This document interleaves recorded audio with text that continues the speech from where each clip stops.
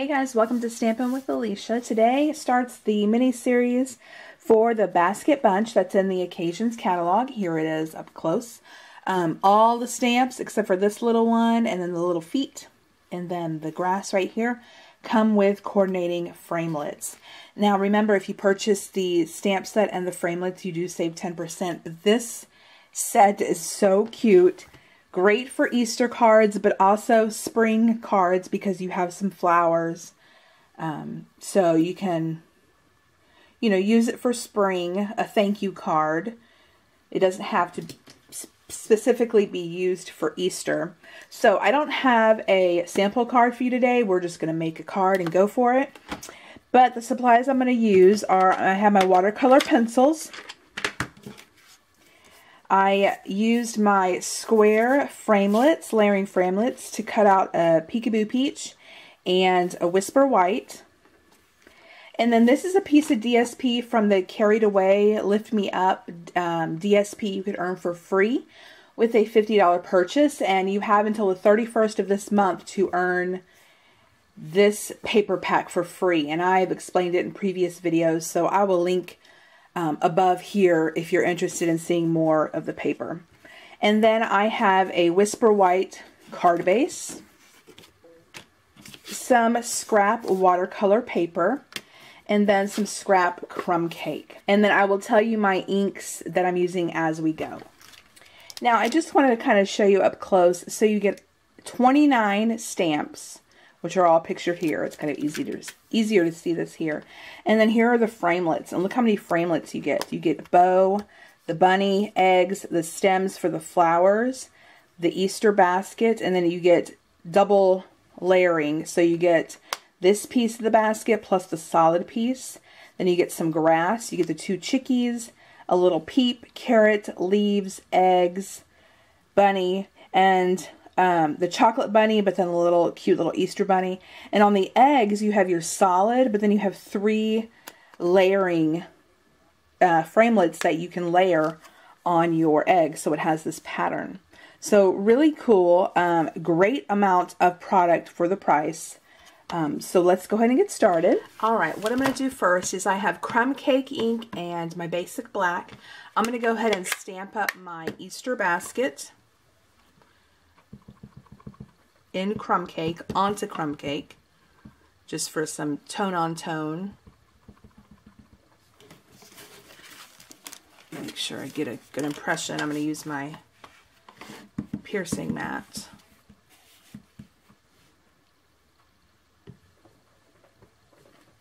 And then I'm going to take the handle and do the same.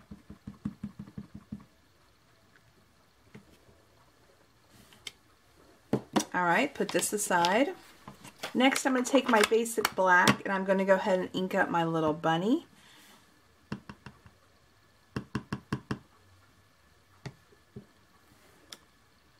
And I'm going to ink him up a couple times just in case I mess up. I'm going to take the carrot stamp next and ink up the bottom portion in basic black because I'm going to color it with my watercolor pencils. But I don't want the top, the little stem in basic black. So I'm going to bring in garden green and attempt to kind of stamp the image in two different colors at once. So we'll see how that goes. First, I'm going to do the bottom part, and I'm just using the edge of my stamp pad to ink it up in black. And then come in and do the top.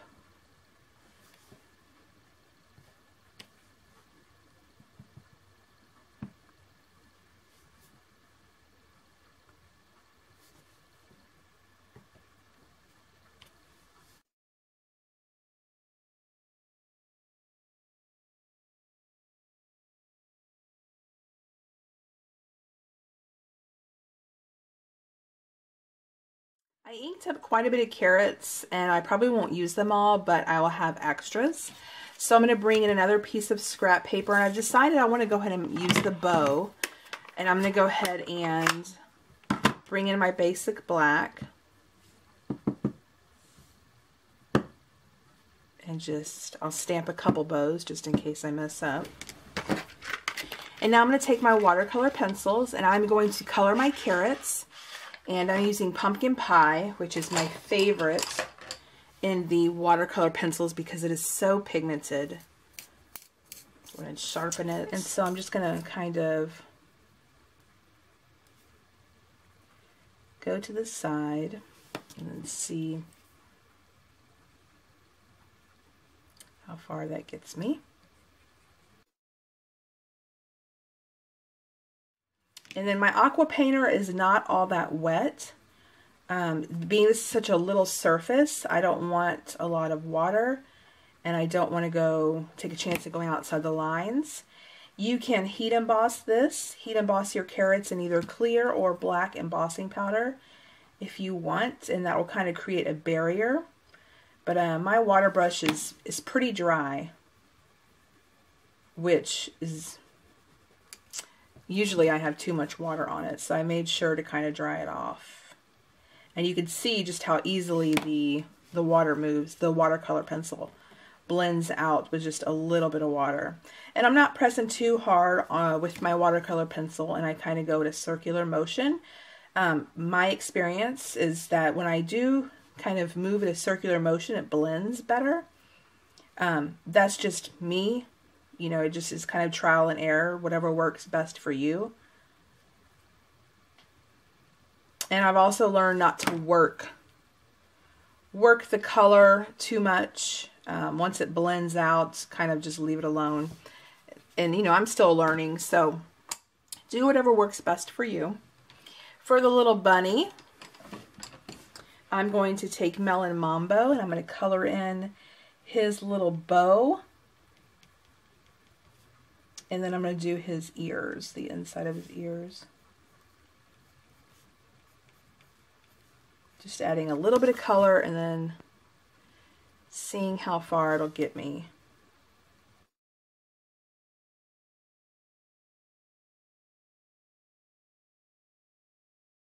Next, I'm taking my basic gray, and I want my bunny white, but I do want to add a little bit of shadowing, so I'm just adding very little gray, just to kind of give it a little shadow.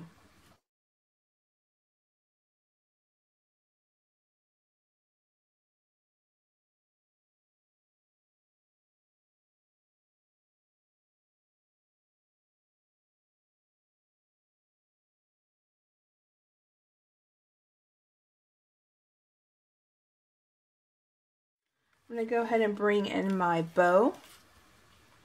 And on my bow, I'm going to use Daffodil Delight. Trying to keep these more Easter colors.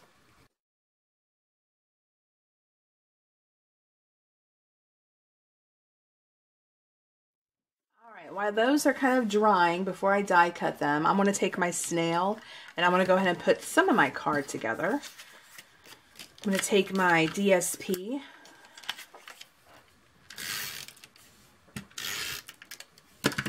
and adhere this to my card base. And this is an A2 size card base, so it measures four and a quarter by five and a half, and then this piece of DSP measures four by five and a quarter. And then these were just, uh, if you have the layering square dies, which I love, this was the largest scallop. And then I kind of used one of the straight um, squares. So there was a nice border. So I'm going to, hmm, do I want to pop this up? My basket's going to be a little popped up, so I think I want just to go ahead and adhere all this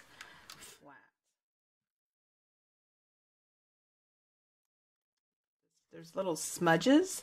So I'm going to put this at the bottom where I know where the basket will cover it. All right, I'm going to put this aside and I'm going to go ahead and take all my pieces and die cut them out. So I will be back. All right, here are all my pieces. And this I had left over from a previous project. This is Garden Green cardstock and I used the grass die. And I'm going to go ahead and use this in my basket. So the first thing I want to do is I want to, let's see, I'm going to glue my handle on first of uh, on my little basket. And for this, I'm using my fine tip glue pen. And I'm just going to add small dots. And then go ahead and adhere this down. And then I'm going to use my Tombow Mono glue and let me see, kind of judge how far down I want this grass or how far, how tall I want it. Just to make things easier, I'm just going to glue.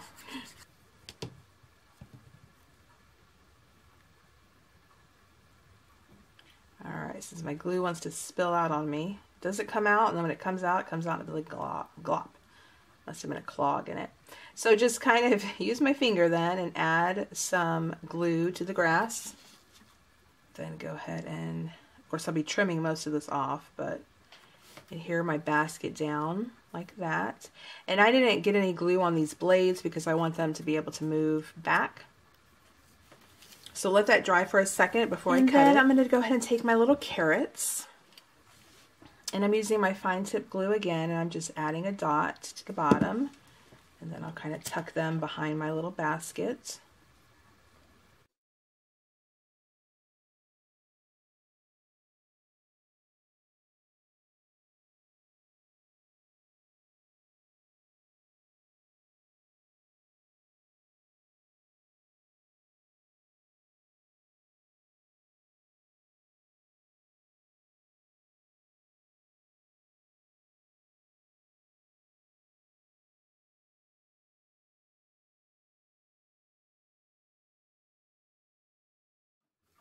I'm going to take a piece of scotch tape and just, just as an extra reinforcement.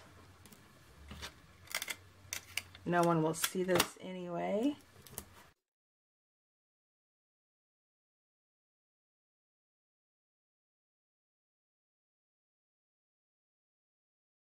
All right, then I'm going to take a bow and just glue that here.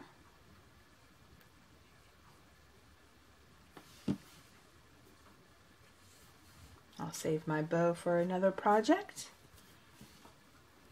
Okay, then I'm going to use some Stampin' Dimensionals and pop my little basket up.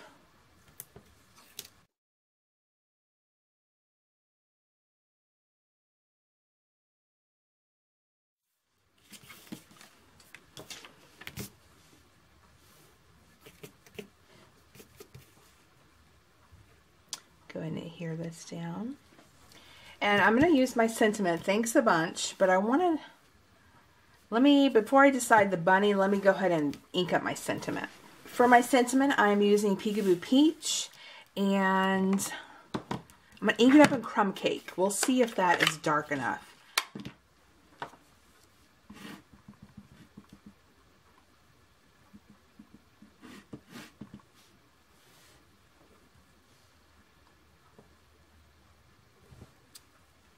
Okay, I think that'll be okay. I'm going to take my triple banner punch and go ahead and add a little fishtail to the end.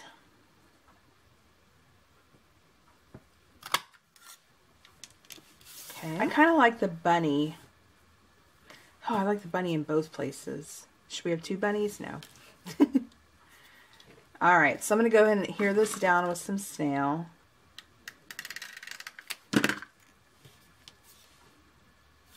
and we'll put it straight otherwise it'll probably bug me. Okay? And then let's pop our bunny up. I love this bunny it's so cute. Alright then I'm going to take my Wink of Stella and I'm going to go ahead and just add a little bit of sparkle to his bow and then this bow